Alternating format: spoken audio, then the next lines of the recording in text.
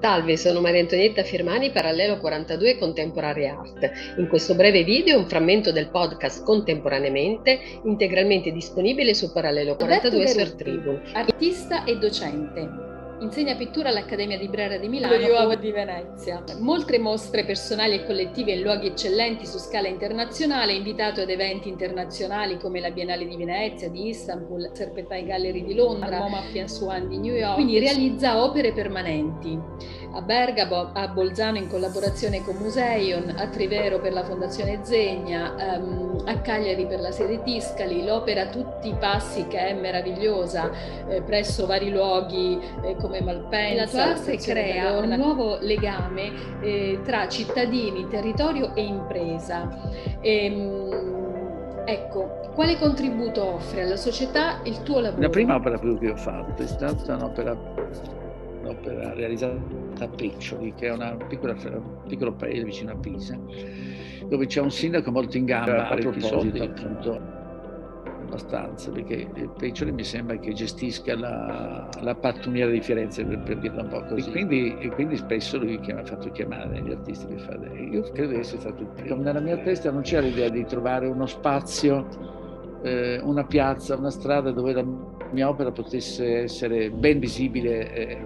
No, nella mia testa davvero c'era un'idea precisa, che era quella di fare un'opera che potesse non essere contestata con quelle premesse fondamentali che sono proprio di ordine cioè, immaginare due no? pensionati su una panchina si danno la gomitata e dicono oh, guarda che, che, che, roba dove vanno a finire i nostri soldi no? E allora io questo non lo voglio Dico, vorrei che la gente fosse contenta no? perché l'opera pubblica in quanto tale deve essere destinata soprattutto ai cittadini no? i quali devono, devono essere contenti e lì il problema è quello che poi per far sì che ci contenti devi toccare la loro sensibilità però dall'altra parte di essere molto abile a far sì che l'opera non abbia linguisticamente un profilo alto, se no altrimenti si cade in una forma di populismo demagogico che sarebbe dunque contro la stessa opera.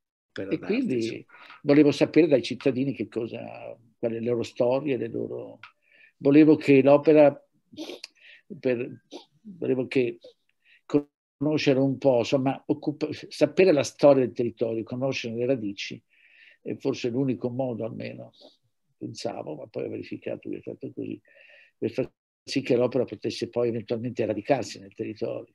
Beh, insomma, fatto sta che dopo 4-5 mesi, dopo una, una, delle riunioni che avevamo fatto, è nato questo lavoro grazie al fatto che qualcuno ha detto sì, tra le cose che a noi piacciono, che ci interessano, che vorremmo, eh, c'era un piccolo teatro qua dietro nel quale noi negli anni 30, quegli anziani, pensionati, perché le riunioni le facevo con gli anziani, perché erano, erano sempre al bar, e, e, e un, piccolo, un, piccolo, teatro dove noi facevamo gli spettacoli, il sabato sera ci, dove ci riunivamo, dove facevamo eh, le feste da ballo, e, e io ho detto teatro. loro vorrei ristrutturarlo e riportarlo come era in origine. Probabilmente non ci hanno creduto, perché questo viene da Milano, Strano. Arriva lui, no? eh, c'è solo una traccia un passaggio, questo c'è è davvero, che è una iscrizione che c'è di fronte all'ingresso, al piccolo ingresso del teatro, che dice eh, quest'opera è una, una, pietra di due metri e mezzo, per,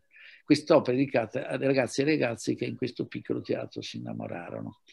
E, e, e fu così perché il giorno di inaugurazione eh, ricordo che arrivai in ritardo come al solito, in questa piazza c'era il sindaco con nastro tricolore, il microfono. E allora e, c'erano due, due, grandi vasi vicino, in fianco all'ingresso, vasi con pia- due piante con nastrini rosa. Uh, una cosa di un kitsch insopportabile. Io veramente mi è venuto nervoso, incredibile. Allora sottovoce, prima di poter parola, ho detto al sindaco, ma perché avete messo questi vasi? E dice, non lo so, nessuno sapeva niente. Poi dico, ma perché? Quindi sono passati 40 secondi di silenzio e chi si è affacciato finalmente il direttore dell'impresa ha detto, no, ma guarda che sono gli, quegli anziani che ci sono là in fondo. Allora questa cosa antipatica si è trasformata in una cosa molto bella, ha dato senso al lavoro.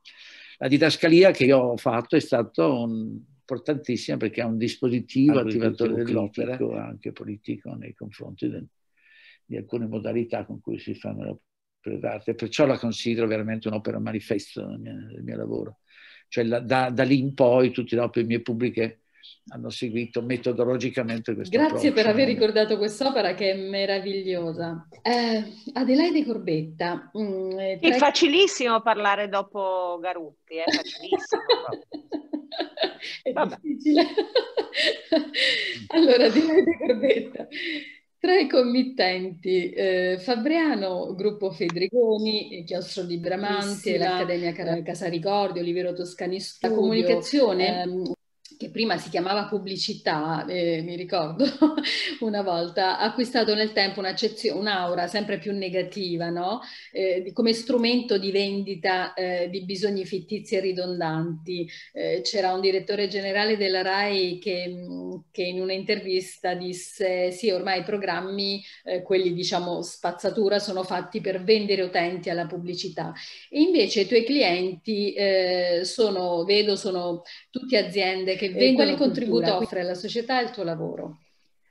Allora, doverosa premessa, io sono convinta che buona parte dei prodotti siano prodotti sani.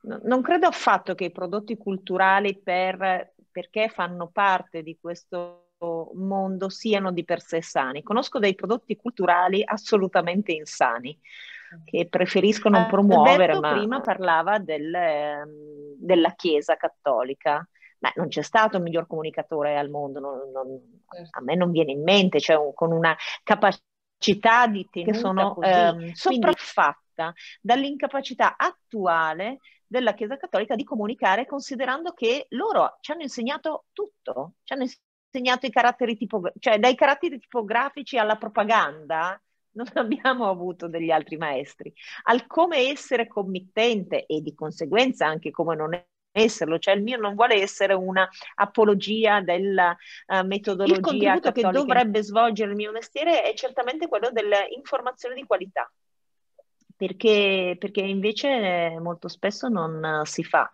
Eh, non, non, voglio addentrarmi nel campo delle fake news. Deve essere una prima parte di studio e poi una seconda parte di declinazione, di declinazione di tutto, di declinazione di linguaggio, di eh, scelta.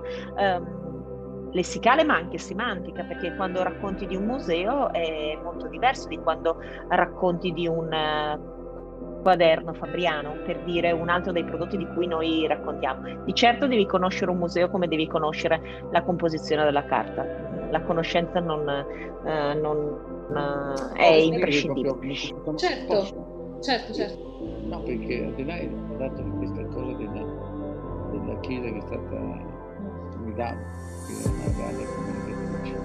Ma poi anche, sembra che accennassi proprio per me, importantissimo, il fatto che la Chiesa è stato il più grande committente storia.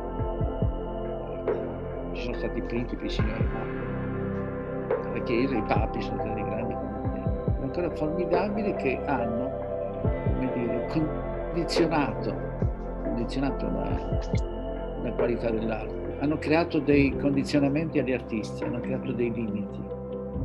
Allora è interessantissimo il fatto che eh, penso che il limite sia la grande benzina necessaria all'arte. Cioè quando gli artisti dicono io faccio quello che voglio, che sono libero, sono artista, sono un uomo libero, ma manco per niente.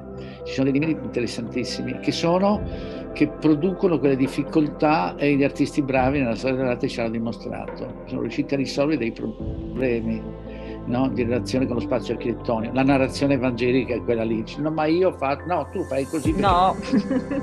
no, dice, sai, io sono, sono, Michelangelo, posso fare quello che voglio, quindi la Cappella Sistina voglio fare l'anno, no, tu la fai qui, se no chiama Raffaello. Cioè, hai capito? Allora lì è una sfida straordinaria. In contemporaneamente trovate dialoghi di arte, scienza, letteratura, storia, filosofia, architettura, cinema, economia e molto altro per leggere il contemporaneo attraverso il pensiero dei suoi più autorevoli interpreti.